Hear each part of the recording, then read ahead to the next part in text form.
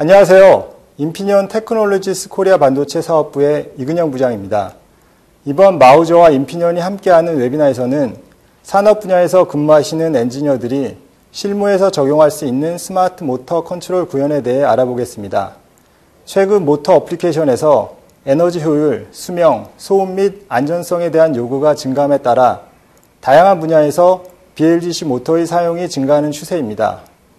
빠르게 변화하는 시장의 요구에 맞춘 효율적인 BLDC 모터 컨트롤 구현이 필요하지만 현실적으로 자체 solution을 마련하기 힘든 경우가 많습니다.